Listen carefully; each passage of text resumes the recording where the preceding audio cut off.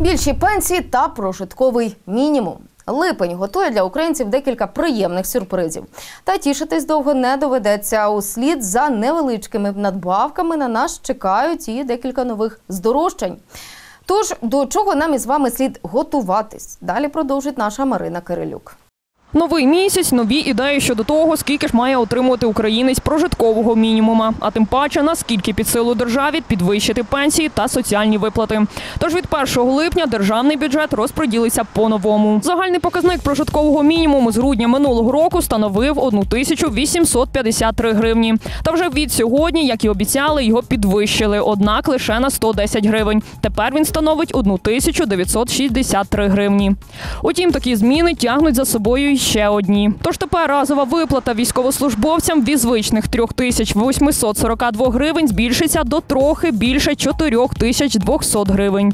Перерахунок відбудеться і в системі субсидій. Його варто очікувати, звичайно, ближче до опалювального сезону. Та те, що він неминучий, очевидно. Так, при оновленому прожитковому мінімумі сім'я, що має середній дохід 10 тисяч гривень, за комунальні послуги буде сплачувати на 100 гривень менше ніж у минулому році. Підвищення ж пенсій зачепить не усіх. Лише близько 2 мільйона малозабезпечених пенсіонерів отримують надбавку у розмірі 67 гривень. А от максимальну ж пенсію забезпеченим українцям піднімуть на 670 гривень. Напевно, не дуже велика кількість пенсіонерів відчують це дійсно в грошовому виразі. Можна, звичайно, пов'язати це з виборами, але ну, в принципі, давно вже давалося доручення уряду стосовно того, що треба якимось чином підвищувати, ну, вирішити це питання. Інша справа, що 2000 – це теж не так багато, на жаль, якби це не таке м, підвищення, яке би могло би повністю вирішити питання бідності наших пенсіонерів. Это даже месячный пополнение телефона не хватит этой суммы. И надо людям зарплаты, понимаете?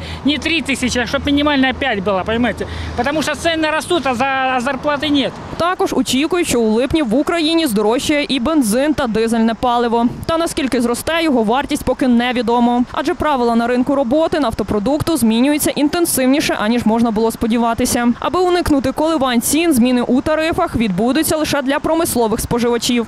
А от на майбутнє уряд обіцяє всіляко сприяти і зниженню електроенергії для українців. при сьогоднішньому житті, при сьогоднішній комунальний платежах, при сьогоднішніх цінах в магазині, 2 тисячі пенсій це достатньо? Недостатньо.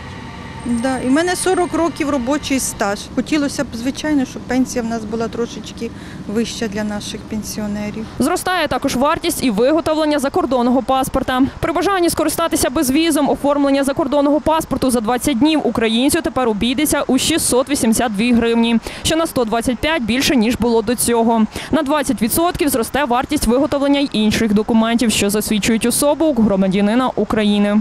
Все-таки це достатньо дорогі вартісні послуги в плані того, що виготовлення цих документів, воно теж там же ж ступені захисту і таке інше.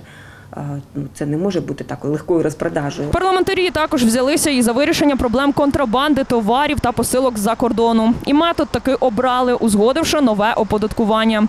Так ще в минулому році товар з-за кордону оподатковувався лише той, що перевищував вартість у 150 євро. А вже від сьогодні податок буде сплачуватися за товар у посилці вартістю від 100 євро. Марина Кирилюк, Микола Паламарчук. Новини. Правда тут.